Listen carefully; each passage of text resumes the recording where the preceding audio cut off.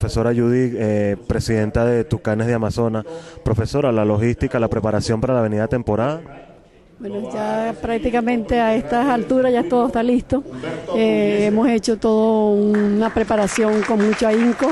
Eh, algunos detalles que faltaban ya están cubiertos y por lo tanto estamos listos para arrancar escuchando el, el pitazo el día domingo. La planificación, la ciudad, ¿cómo, cómo, cómo se encuentra eso a las esperas de pocos días para, para la gran inauguración de, de la primera división? Bueno, está conmovida todo el mundo, esa es llamada constante, las entradas, el pueblo está todo el mundo buscando sus entradas y los equipos están, eh, como decir, eh, fúricos, pues en el sentido de, de la estimulación, de la motivación de todo el pueblo, en las pintas, en las pancartas y, por supuesto, eh, buscando las entradas para estar de primero el día domingo en el estadio.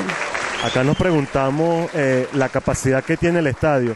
En lo particular nosotros tuvimos la oportunidad de estar allí, jugamos fue en la cancha alterna, pero hay personas que no conocen la capacidad del, del campo. Yo lo vi desde lejos y me pareció una cancha espectacular el, el gramado. Lo que quisiéramos saber es la capacidad de aforo para, para, la, para los partidos.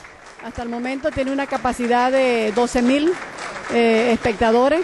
Estamos trabajando, por supuesto, para hacer eh, pues eh, con mucho más extensión otro tipo de grada para completar pues el, el círculo correspondiente y esperamos llegar a 17 mil espectadores. Muchísimas gracias, presidente.